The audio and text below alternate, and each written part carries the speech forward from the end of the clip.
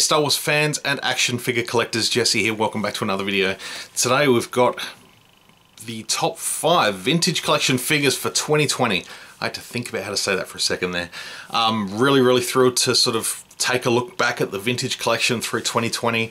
Definitely had some highlights, had some lowlights. Um, Black Series is getting probably more of the love at the moment, which is a little bit sad for all us long-time 3.75 collectors, but uh, yeah, we really want to push that message out to Hasbro that three and three, three and three quarter, 3.75 inch is definitely uh, something we want to keep alive uh, long term.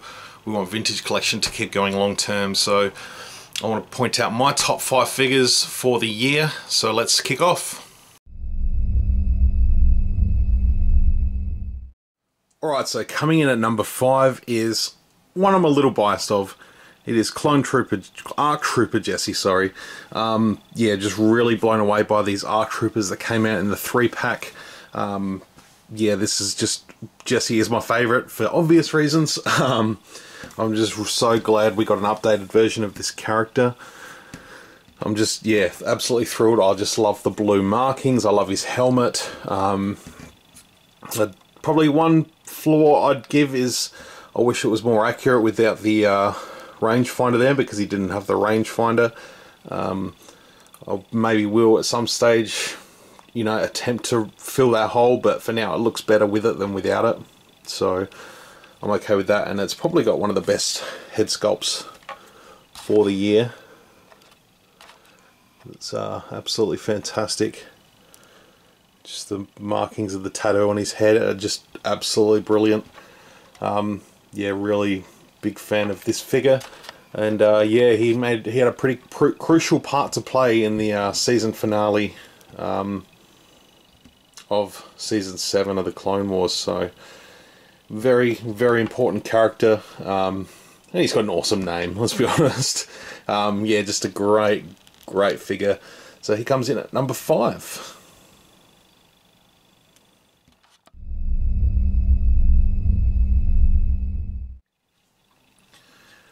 Coming in at number four is the Dark Lord himself, Darth Vader. This is the Rogue One Vader.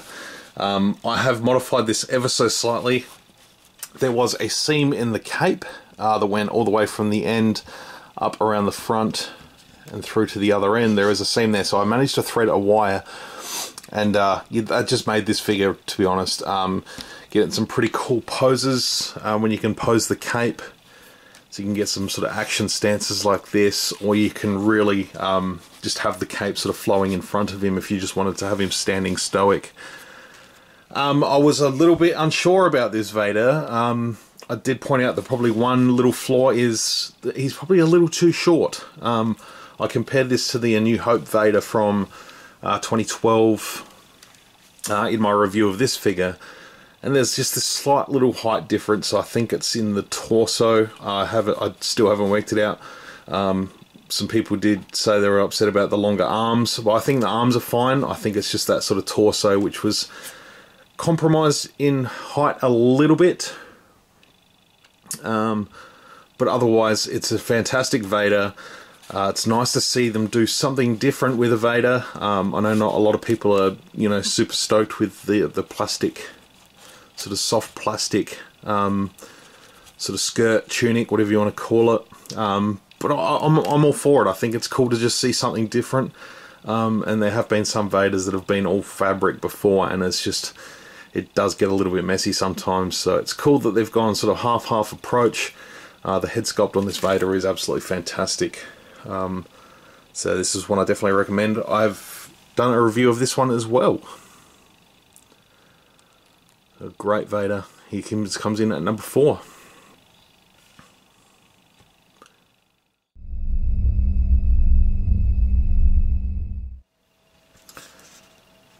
And coming in at number three, we have Chirrut Imwe from Rogue One. Uh, finally, Hasbro getting around to making the figures as they should have been as they were released. Um, we also had K2SO this year, who was an absolutely fantastic figure, but um, yeah, Chirrut takes the cake. He is absolutely brilliant. Fantastic articulation. Um, accessories are sweet. He does come with his uh, sort of staff as well. Um, but I did hold on to the 5 POA one to keep with his staff. Um, this one had to have his sort of bow, bow rifle, I guess. I'm not sure. I can't remember what it's called. But yeah, brilliant likeness. Good use of like soft good material, and then plastic on the back, on the back there. Just a uh, yeah, really good, really good addition to the line. I'm really looking forward to. Um, hopefully they get to Baze Malbus next. Um, Bodhi Rook could be nice. Maybe an update to Jyn and Cassian, like I don't know, maybe in a multi-pack or something with updated like, sort of the facial print. That'd be great too. Um, Saw Gerrera would be a good one. Director Krennic would look fantastic on a vintage card. There's so many, uh, so many possibilities, but uh, Chirrut comes in at number three.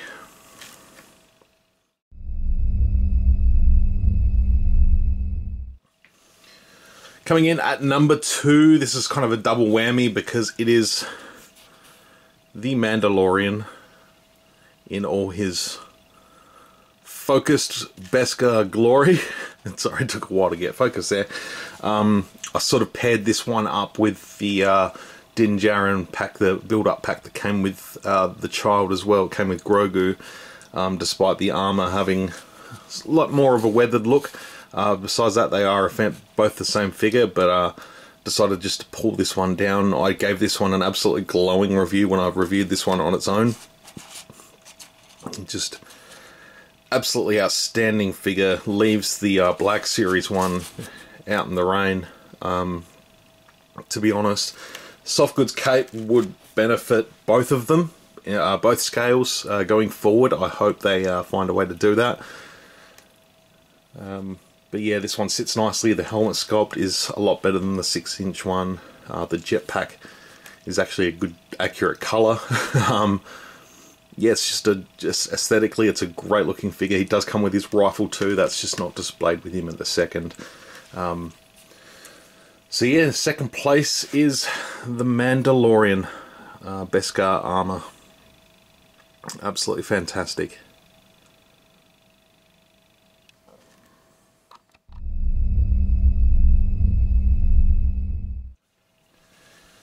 And coming in at number one for top five vintage collection figures of 2020. These are my top fives.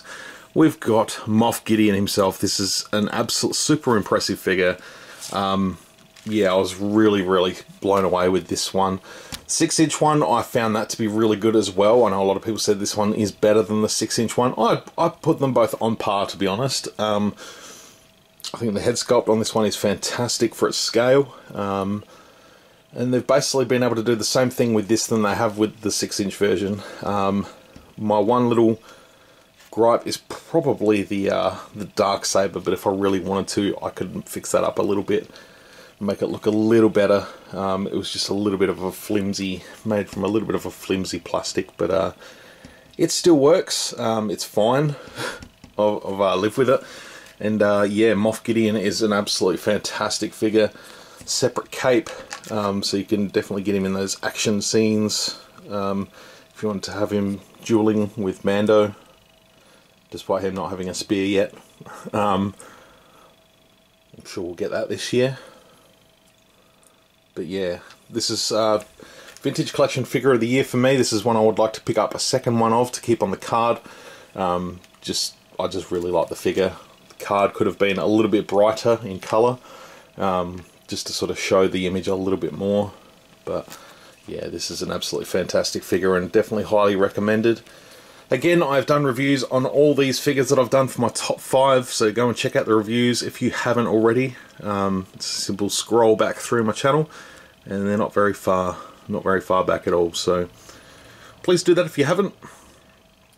If you uh, like this video, please give it a thumbs up. If you've yet to subscribe to my channel, please do and uh, yeah, hit the notification bell so you get uh, alerts to when I drop all my new videos. So there's my top 5 vintage collection figures for 2020. Thank you very much for tuning in. Until my next video, may the force be with you. Always. We're a little rushed, so if you'll just get on board, we'll get out of here.